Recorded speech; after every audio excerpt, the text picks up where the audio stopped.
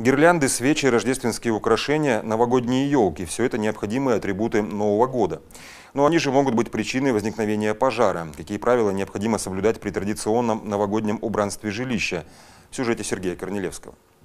Важнейшая проблема, которую приходится решать, пожалуй, в каждой российской семье в эти дни, где и как установить лесную красавицу. И при решении этой проблемы необходимо учитывать не только эстетические предпочтения, а также правила пожарной безопасности. Не правда ли? Совершенно верно.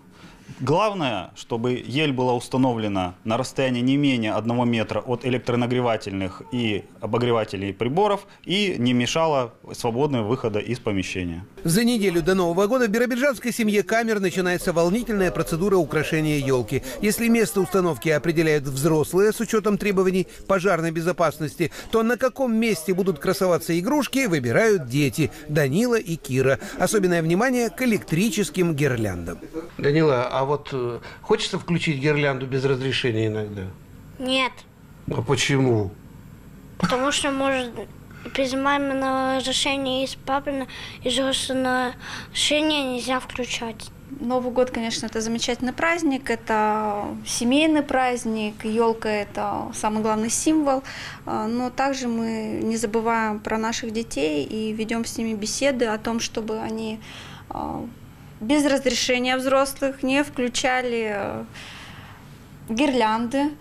Также мы покупаем, стараемся покупать сертифицированные гирлянды и игрушки на елку.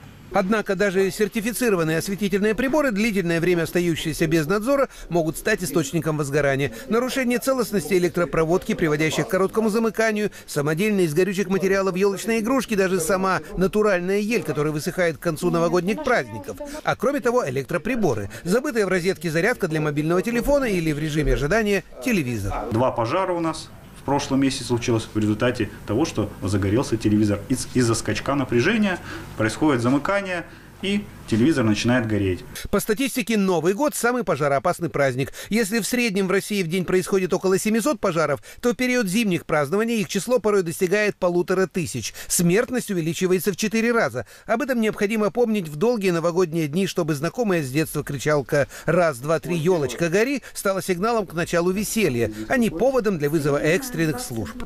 Сергей Корнелевский, Максим Сидичкин, Вести, Биробиджан.